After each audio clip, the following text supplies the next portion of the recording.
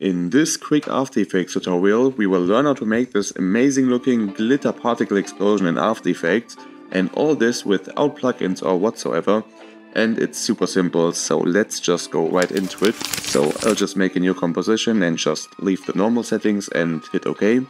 And first of all let's right click in here, go to new and let's add a white solid for the background and actually we can just select the white solid and press Ctrl D on the keyboard to duplicate it.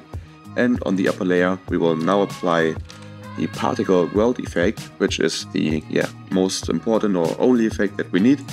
And yeah, just apply it on here. And if you would play this animation, you can see that by default these particles look yeah kind of weird. So let's actually make our own particles. So right click in here again, go to new and let's add a shape layer to create these nice rectangle glitter shapes. And yeah, so just open this up and go to add and add a rectangle.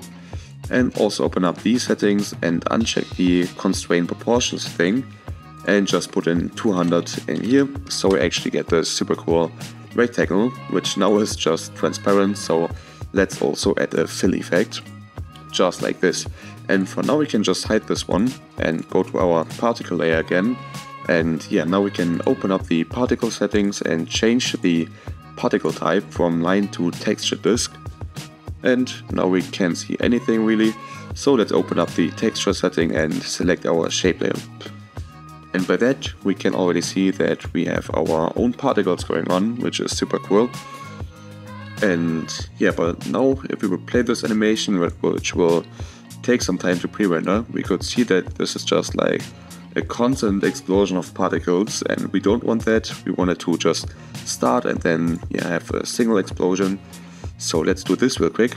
And for this, let's just go to the beginning of our animation and put in a birth rate in here, like 5 for example, and just keyframe it. And then go forward a few frames, just like this, and put in 0. So now it will just stop emitting particles. And now if we play this, we can actually see we get a single explosion, which will then just stop. And I think, yeah, this is just super cool.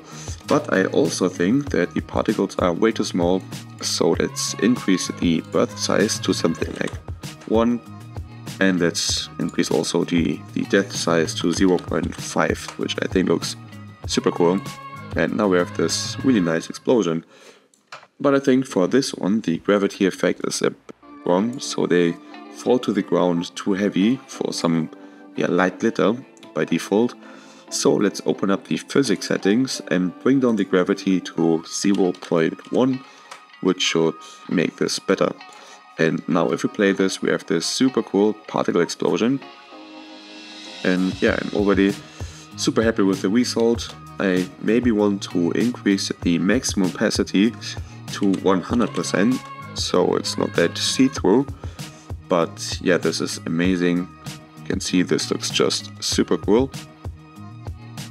And yeah, in the example we do two more things. We first of all select this layer and the effect and move this yeah, particle explosion to the corner because I think it just looks cooler when it just comes in from somewhere just like this. And we also made some more particles with a different color which is just a cool contrast effect and yeah, to do this, we have a simple trick. We can just duplicate this layer by pressing Ctrl D again. And now we see these, yeah, we have, yeah, we would have theoretically more particles, but they are on top of each other. And yeah, to change this, we can open up the extra setting and put in a random seed in here, like 5 or whatever. And now we can see the particles will have a different path. And now we just need to add a fill effect and change the color of this one to have some nice contrast and I'll just use a purple or bluish color just like this and hit OK. Hmm. And yeah, now we could play this and I'll think this looks super cool and I hope this is what you kind of want and this helped you a bit. So yeah, thanks for watching and see you next time.